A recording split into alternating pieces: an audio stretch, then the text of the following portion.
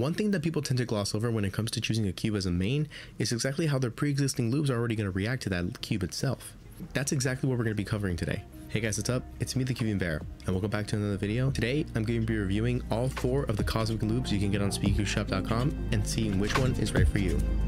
Let's get started.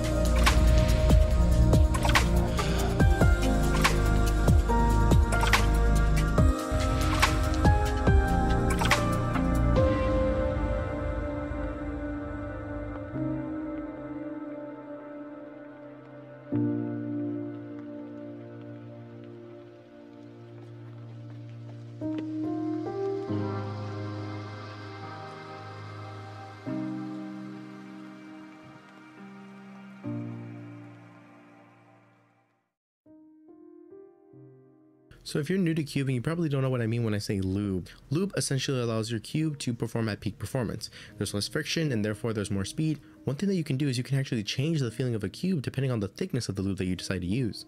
You guys saw in my recent unboxing is that I unboxed the Meilong M and I unboxed all four of the Cosmic Lubes you can get on speedcubeshop.com. And in this video, I'm going to be telling you guys exactly how they performed. With that being said, let's actually find out what SpeedCubeShop actually offers in terms of lube. So SpeedCubeShop offers four Cosmic Lubes. These are the lubes that they use to set up cubes professionally in their own custom service. The lubes are Martian, Galaxy, Nebula, and Lunar. Martian is a pretty standardized lube. On SpeedCubeShop, it has a ranking of speed of 9, thickness of 12, and gumminess of 5. Galaxy Lube has a speed of 8, thickness of 4, and gumminess of 7. Nebula has a speed of 7, thickness of 5, and gumminess of 10. And Lunar Lube has a speed of 10, thickness of 0, and has gumminess of 2. So you can already tell right off the bat that if you want a lube that will make your cube faster, Lunar is the way to go. However, if you want to make it slower and have a more controllable and stable feeling, you want to go with Nebula. That's just looking at the numbers, but how do these lubes actually perform? So for these tests, I went ahead and took apart the cube four times, lubed it four individual times, did an average of 100, and I got my results. Let's take a look.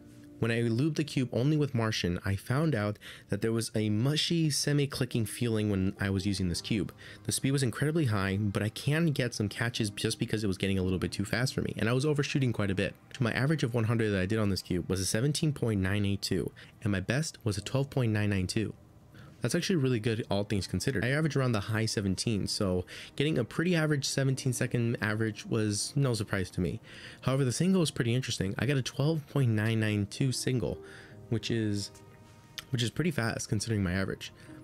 And in that stuff in particular, I noticed that the cube had a little bit of that gumminess, which helped me to restabilize the cube when I was doing a little bit of the faster turning.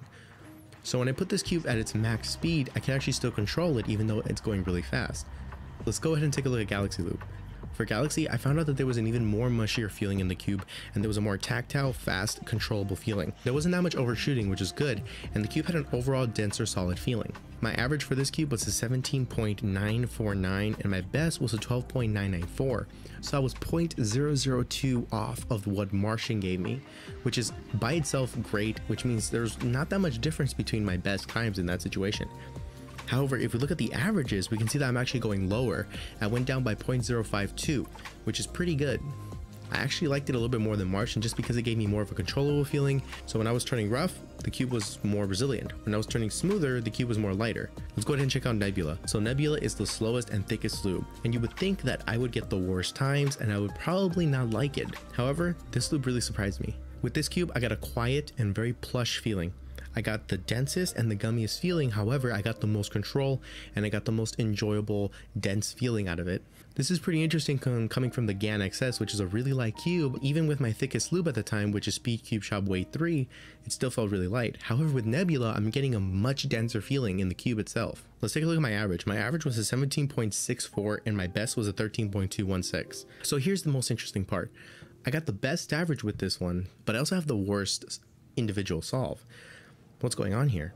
I think the most important thing to look at here is the average because a single is purely based on luck and I don't think that's something that should be taken into consideration. So you can see that from the results that the Nebula Lube actually responded really well to my turning and allowed me to get a better average overall. let's take a look at our last lube, which is the fastest lube, Lunar. I've been using Lunar for a long time, so I'm very comfortable with this lube, and I know exactly what I need to do in order to set my cube up correctly with this lube. So I found out pretty interestingly is that with the Meilong M and Lunar, I found it was the fastest, yet it was also the clickiest and loudest. There was no gumminess to really fill in the dents of the of the cube itself, making it feel more airy, making it feel more clacky and more lighter overall.